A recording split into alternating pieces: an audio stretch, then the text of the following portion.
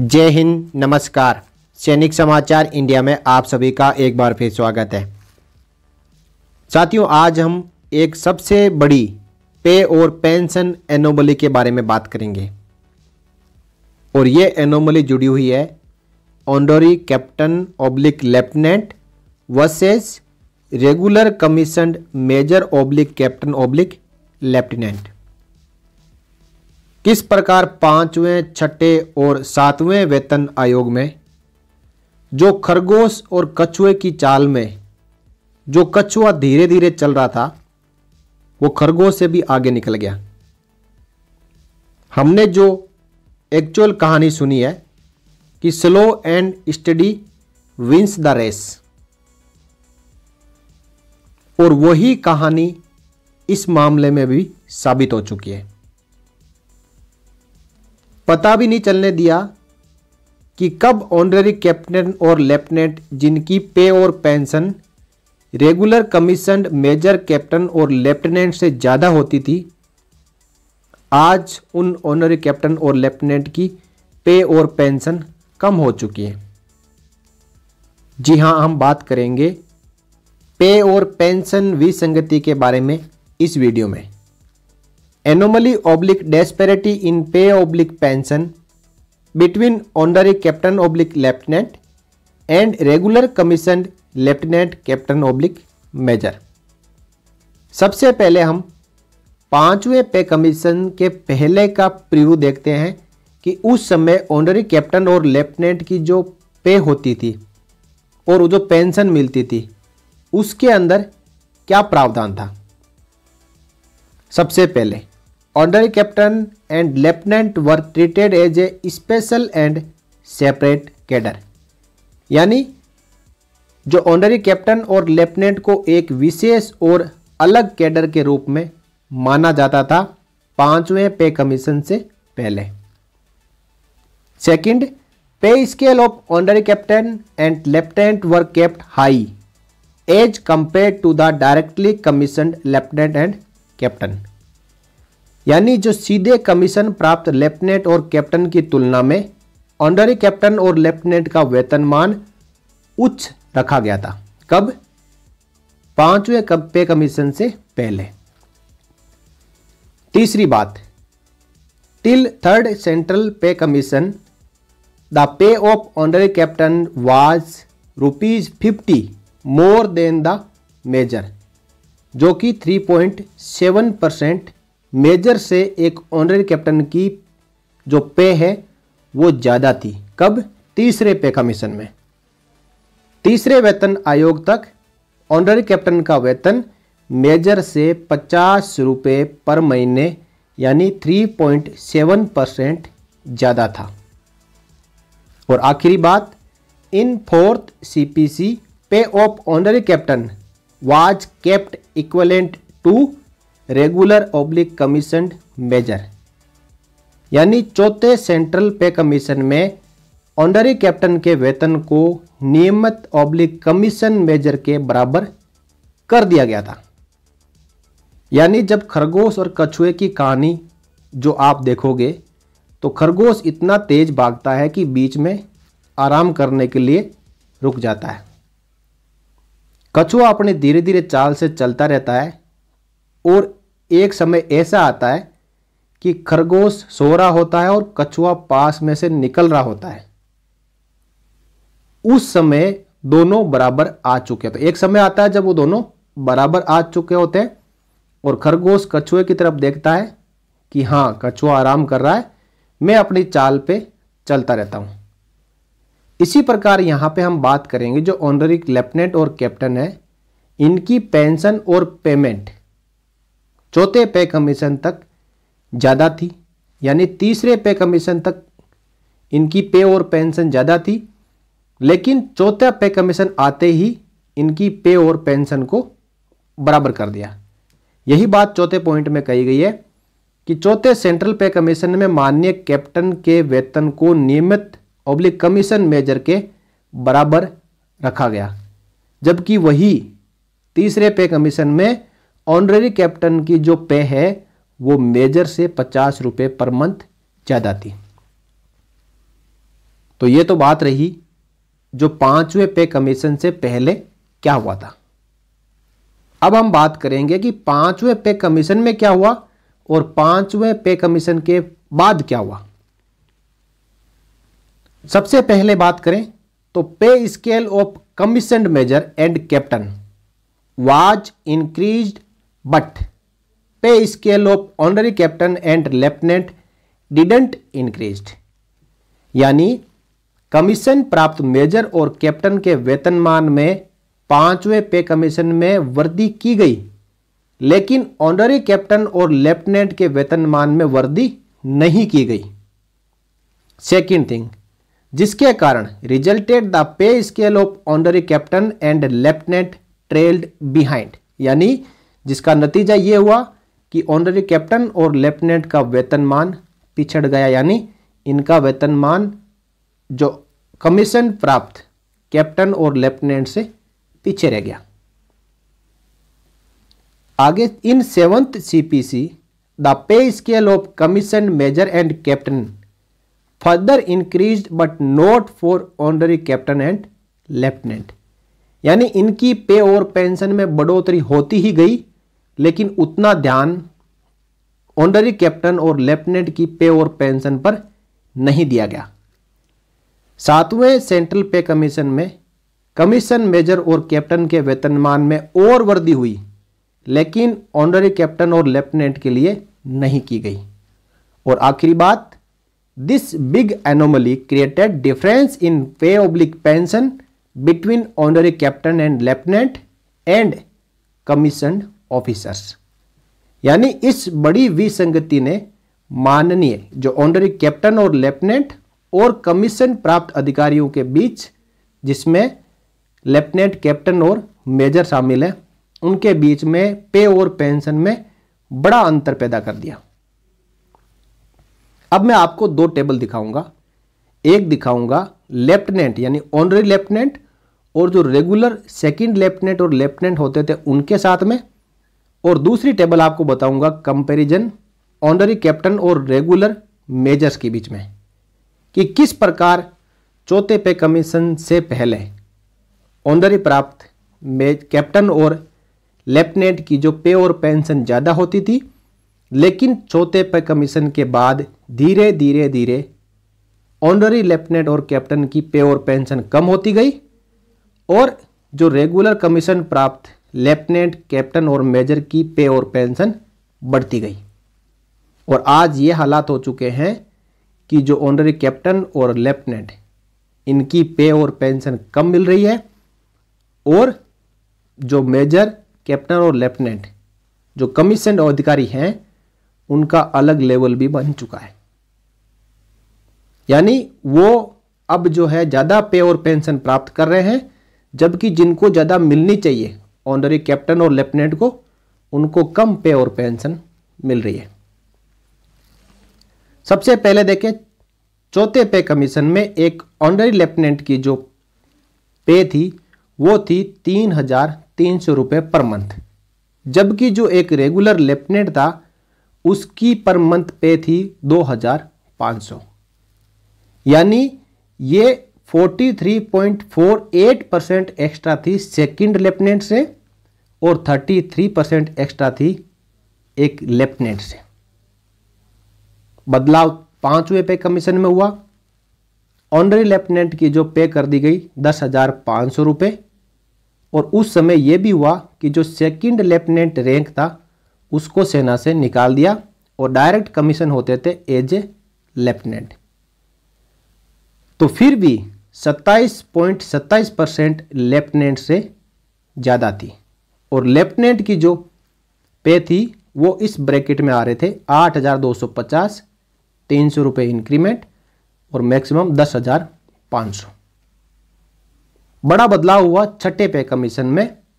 Honorary lieutenant का जो bracket कर दिया, वो किया पंद्रह हज़ार छः सौ से लेके उनचालीस हज़ार एक सौ, जिसमें ग्रेड पे रखा गया पाँच हज़ार चार सौ।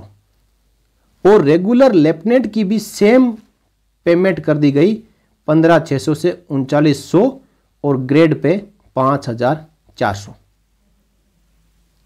अब प्रजेंट समय में जो ऑनरी लेफ्टिनेंट है, वो रेगुलर लेफ्टिनेंट के बराबर ही सैलरी और पेंशन प्राप्त कर रहे हैं। सातवें पे कमीशन में इन दोनों को लेवल टेन में कर दिया गया।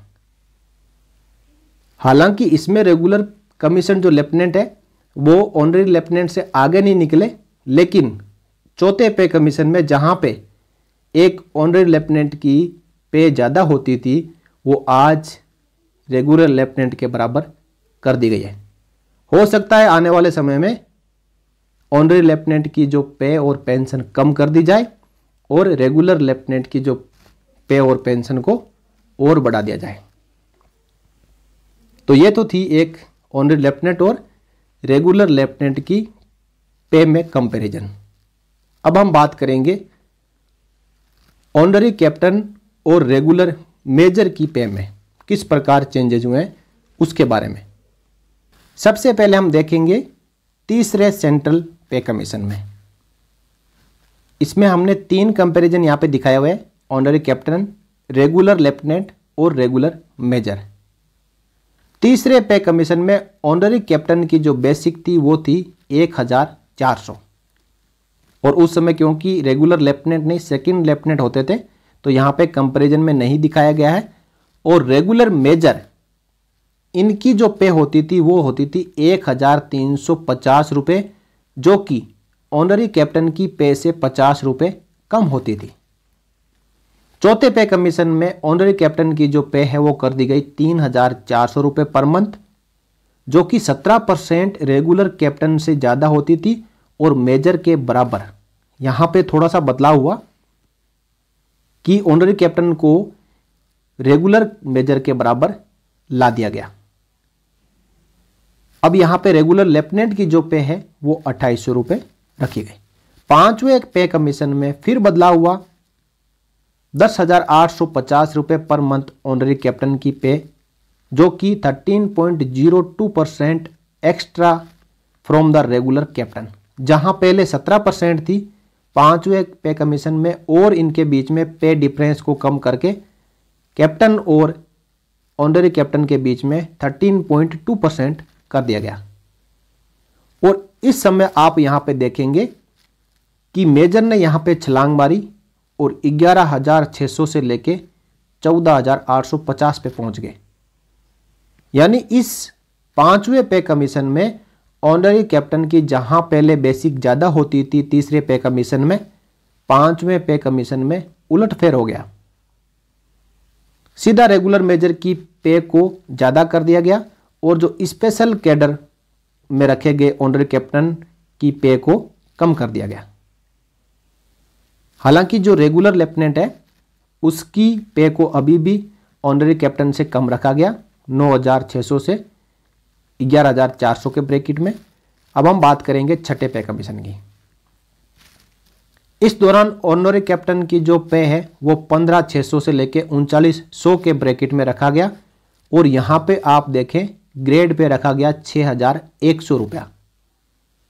इसका कंपैरिजन हम रेगुलर मेजर के साथ में करेंगे तो ब्रैकेट सेम है, लेकिन ग्रेड पे मेजर का कर दिया गया छह हज़ार छह सौ रुपया। और यहाँ पे जो रेगुलर लेफ्टिनेंट है, उन्होंने बड़ी छलांग मार के पहुँच गए सीधे ऑनरी कैप्टन के साथ। अपने आप को भी इनके साथ खड़ा कर लिया पंद्रह हज़ार छह सौ, उनचालीस हज़ार सौ और ग्रेड पे करवा लिया छः हज़ार एक सौ।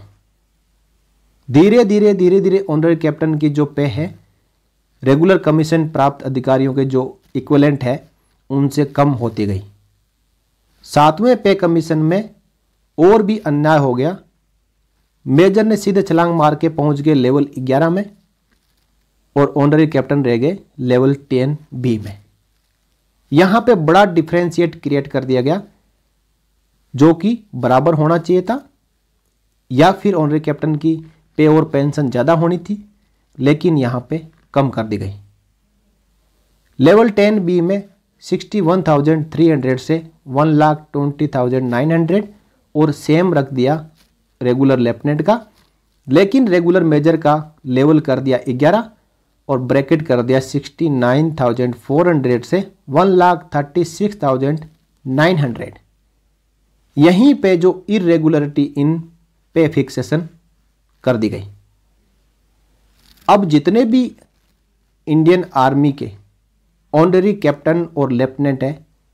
उन्होंने ये बीड़ा अपने हाथ में उठा लिया है और वो रुक कर रहे हैं न्यायालय का, जहाँ पे रिट पिटिशन डालने की तैयारी कर ली गई है।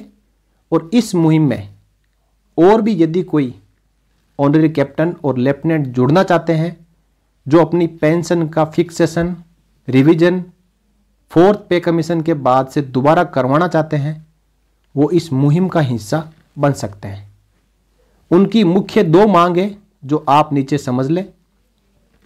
सबसे पहले revise oblique refix pay oblique pension of honorary captain in the ratio on the higher side at par with regular oblique commission major जो कि 11,600 से 14,850 का जो ब्रैकेट रखा गया यहाँ पे आप देखेंगे जहाँ पे पाँचवें पे कमीशन में ऑनरी कैप्टन की जो पे है कम कर दी गई थी। इसी के लिए यहाँ पे मांग की जा रही है कि पाँचवें पे कमीशन में ऑनरी कैप्टन को मेजर की पे के बराबर किया जाए।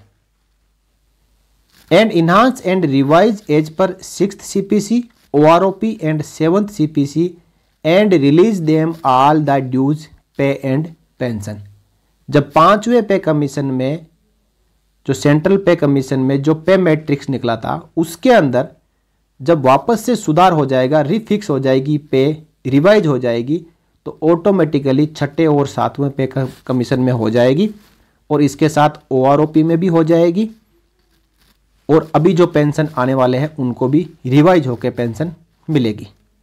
हिंदी में समझे पाँचवें सेंट्रल पे कमीशन के अनुसार नियमित ऑब्लिक कमीशन मेजर जिनकी कि 11,600 से 14,850 रखी गई हुई है इसके बराबर जो ऑनरी कैप्टन के वेतन ऑब्लिक पेंशन को संशोधित ऑब्लिक पुनः निर्धारित करना और छठवें सेंट्रल पे कमीशन ओआरओपी और सातवें सेंट्रल पे कमीशन के अनुसार बढ़ाना और संशोधित करना और उन्हें जारी करना सभी बकाया, जिसमें वेतन और पेंशन सभी शामिल है। दूसरी मांग रखी गई है ऑनररी लेफ्टिनेंट के लिए। Enhance and revise the pension of the honour lieutenant and maintain difference of four percent lower in basic pay from the basic pay of honorary captain जो भी यहाँ पे दस हज़ार आठ सौ पचास, जिसको कि मेजर के बराबर किया जाए ग्यारह हज़ार छह सौ से लेके चौदह हज़ार आठ सौ पचास के अनुसार और उसके बाद छठे और सातवें पे कमीशन और ओआरओपी में भी मेजर के इक्वलेंट जो पे दी जाए, उसी के अकॉर्डिंग इनको पेंशन दी जाए प्लस ऑनरी कैप्टन की जो पेंशन और पे बने, उससे चार परसेंट कम करके ऑनरी लेफ्टिनेंट की भी पे को रिवाइज रिफेक्स किया जाए। तो इस प्रकार एक बहुत ही बड़ी पे और पेंशन डेस्पेरिटी और एनुमली को इंडियन आर्मी के सभी ऑनरी कैप्टन और लेफ्टिनेंट मिलकर अपने न्याय के लिए न्यायालय में ले जा रहे हैं और इसके ऊपर पॉजिटिव ही रिज़ल्ट आएगा। तो मैं सभी ऑनरी कैप्टन और लेफ्टिनेंट को यहाँ पे शुभकामनाएँ देते हुए कि आप अपनी मांग को जायज़ तरीके से न्यायालय के सामने रखें। आपको ज़रूर सफलता मिलेगी। न्यायालय में ज़रूर आपको इसके मामले को सुना जाएगा।